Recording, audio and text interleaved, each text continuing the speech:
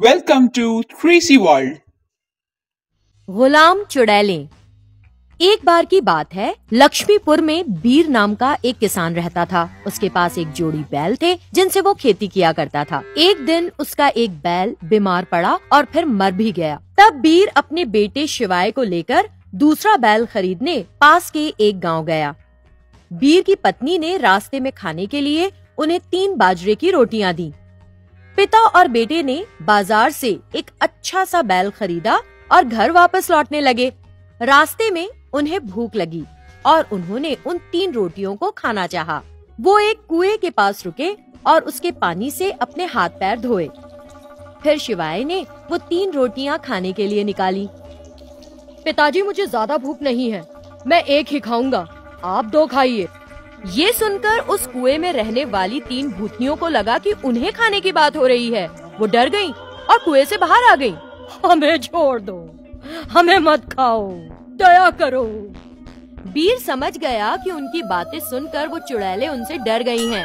उनके डर का फ़ायदा उठाते हुए उसने उन्हें और डराया। अगर तुम हमारे साथ आओ और हम जो कहें वो काम करके दो तो हम तुम्हें नुकसान नहीं पहुंचाएँगे वरना खा जाएँगे। पीर की बात सुनकर अपनी जान बचते देख वो चुड़ैले बोली तुम जो कहोगे हम वो करेंगे। तब बीर और उसका बेटा शिवाय उन चुड़ैलों के साथ अपने घर पहुँचे। फिर उन्होंने उन चुड़ैलों से ढेर सारा काम करवाना शुरू कर दिया। ये चुड़ैले जहाँ यहाँ पर इतना संघर्ष कर रही थी, एक और चुड़ैल उनसे मिलने उस कुएँ के पास पहुँची। लेकिन उस चुड़ैल को वहाँ पर अपनी दोस्त चुड़ैले नहीं दिखी, और उसे पता चला कि कोई दो आदमी उन्हें अपने साथ लेकर चले गए हैं। फिर ये नई चुड़ैल उनकी खोज में इधर उधर घूमती हुई बीर के घर पहुँची। गौशाला में तीनों को काम करते देख उसे बड़ा दुख हुआ, और उसने कहा तुम कुआँ छोड़ के यहाँ क्यों चली आई?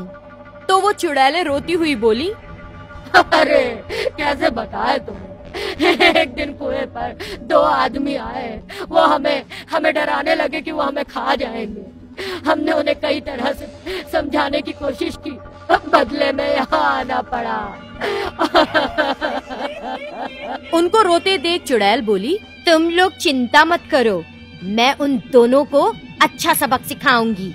तभी गौशाला में बीर और उसका बेटा शिवाय आए। नए बैल को देखकर बीर बोला शिवाय ये नया वाला कुछ स्वस्थ नहीं लगता। इसकी बीमारी दूर करने के लिए हमें इसे जलती हुई सलाख से जलाना पड़ेगा। नई चुड़ैल को लगा कि उसी के बारे में बात हो रही है। वो तुरंत उसके कदमों में गिर पड़ी। नहीं नहीं मुझे जलती हुई सलाख से ना जलाना। मैं वो सारे काम करूँगी जो ये चुड़ैले कर रही हैं। मुझे मत जलाओ।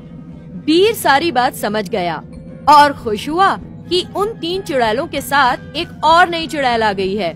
और बोला ठीक है नहीं जलाऊँगा तुम्हें लेकिन मैं जो कहूँगा वो करना होगा। चुड़ैल डरकर बोली तुम जो कुछ भी कहोगे मैं सब करूँगी। ये तीन चुड़ैले सिर्फ़ उठाकर वहाँ से कपास ले आती हैं।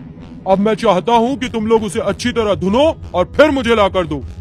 बिल्कुल आज से आपको धुना हुआ एकदम शुद्ध और मुलायम कपास मिलेगा। पिता और बेटे ने उन्हें फिर धमकाया। सारा काम अच्छे से करो। जब पिता और बेटा वहाँ से चले गए तो वो बाकी तीन चुड़ैले उस नई चुड़ैल पर खूब चिल्लाईं। ये था तुम्हारा हुनर एकदम फालतू। बड़े घमंड से कहा था तुमने हमें इस घर से निजात दिलाओगी। अब हमारे साथ तुम भी गुलामी करोगी और हमारे लिए हमारे लिए कपास धुनने का एक काम और बढ़ा दिया।